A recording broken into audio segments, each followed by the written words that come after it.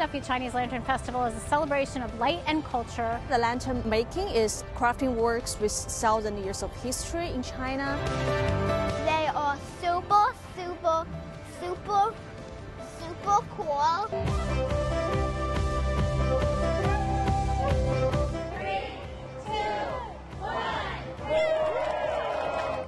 Philadelphia Chinese Lantern Festival is a celebration of light and culture. It's gorgeous. This is our fourth year hosting it here at Franklin Square. There are 29 gorgeous light installations. I've never seen anything like this.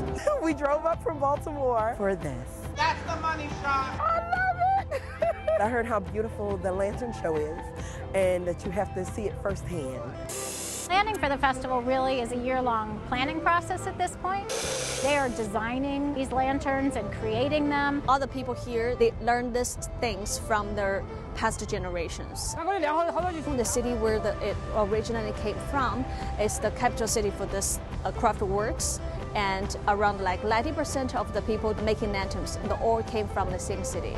The Lantern Festival in China is the last day of the Spring Festival. The Spring Festival is the biggest day in China, like the Chinese New Year. So like family gathering time and everybody will come back home. That's why we want to bring it here to share with the people from Philadelphia. This year, the emphasis is really on the interactive. There are swings. We also have the dragon tunnel.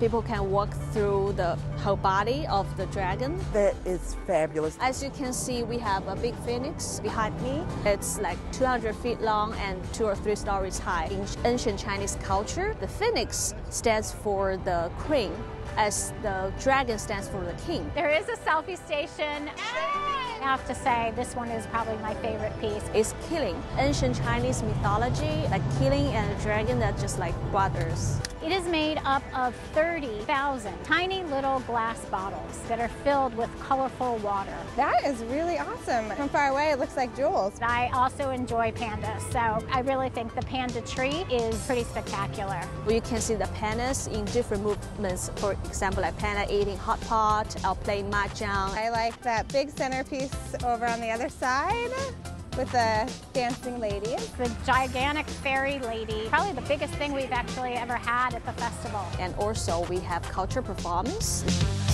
This year we bring some like acrobats and martial arts and the Tai Chi and face changer. The face changer is the crowd favorite. Nothing like I've ever seen before. It's also that something that, that they cannot learn in school and you're just passing down from generation to generation. The experience starts as soon as they walk in the gate. That's cute though. People bring their grandkids, people bring their kids. Because it's great, the kids love it. People bring their dates. We've had lots of proposals and we actually have a giant heart that lights up and says, I love you if you're there with the person that you love. There you go, it works. It really is just a wonderful summer evening to experience in the city.